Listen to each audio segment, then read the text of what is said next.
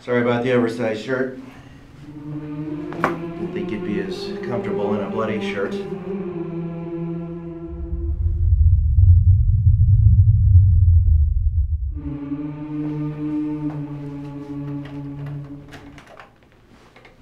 gonna ask you a few questions.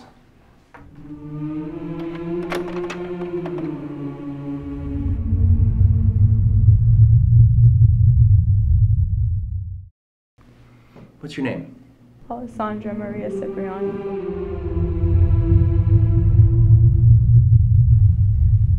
What's your mafia family affiliation?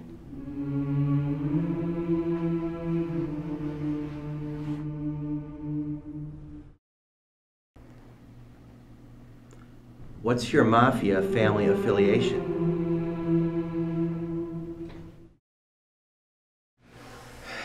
All right, let's start from the beginning.